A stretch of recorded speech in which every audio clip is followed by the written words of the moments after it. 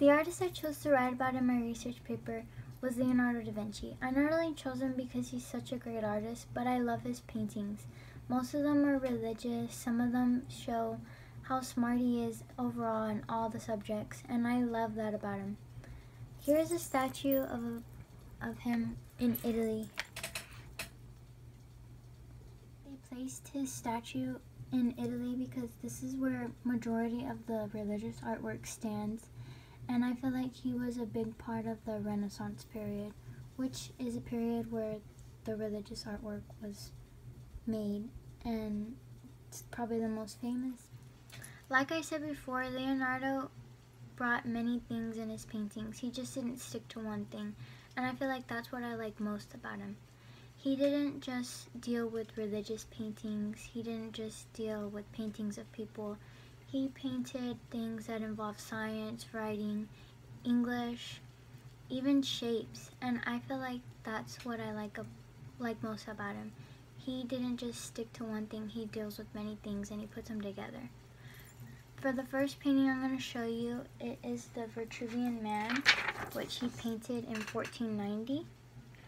I like this painting because you can see that he just didn't stick with his religious beliefs or his average portrait paintings. You can tell that he used math in this painting with the different shapes.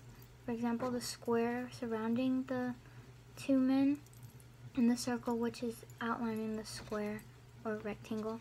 And he also used English or writing in this painting.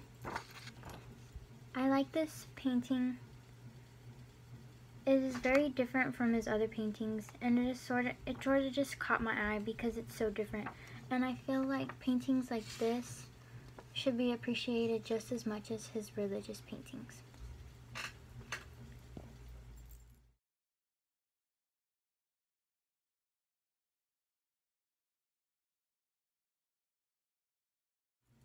The second painting I'm going to be showing you today, Leonardo painted this in 1511 and this painting is called Studies of the Fetus in the Womb.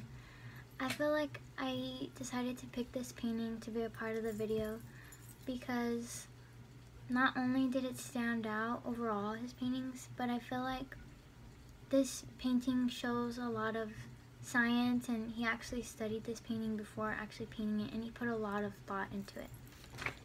Here is Studies of the Fetus in the Womb.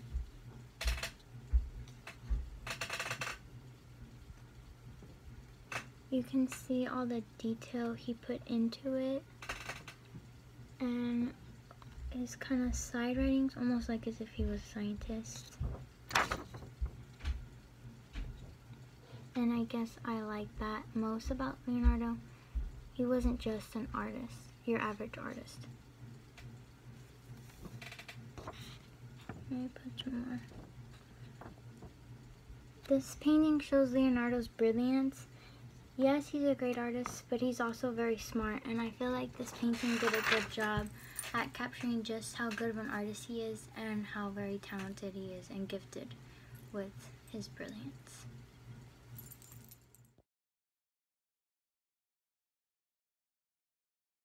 I originally picked Leonardo to be part of my research paper because I was most familiar with his artwork and I feel like I was most familiar with his artwork because of church and because of the family and because of all the paintings we have in the house.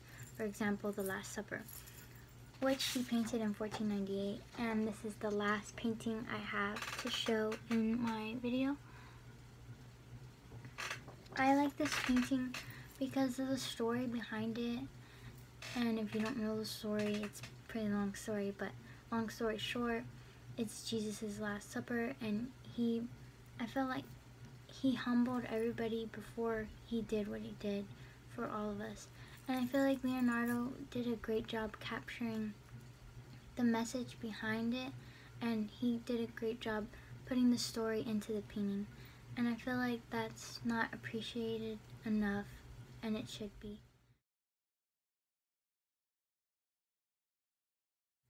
After showing you Leonardo's three paintings, it was kind of hard for me to narrow it down to three paintings.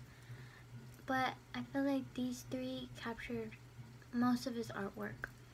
Like the fetus in the womb captured his brilliance and it showed how much he just didn't know about art. He knew about everything and I feel like that's why I picked that painting to be a part of this video. And the Vitruvian Man showed his math skills and how he thought outside the box and he wasn't just ordinary. He wasn't a typical artist. He was different and I also like that so that's why I chose that one. And the Last Supper, it just I've known that painting since I was little and I just felt like it should be a part of it since it's one of his most famous paintings. But last, I'm to end with one of Leonardo's famous quotes and it says, Learning never exhausts the mind by Leonardo da Vinci.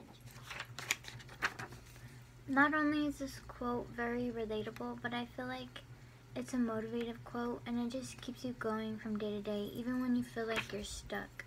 And I feel like Leonardo, he did get stuck sometimes, but that never stopped him. He's a famous artist, and I feel like his work should be appreciated more, not just the famous paintings, but all of his paintings. And that's why I chose him to be a part of my research paper. I just love his artwork and I admire him, not only as an artist, but how brilliant he was. And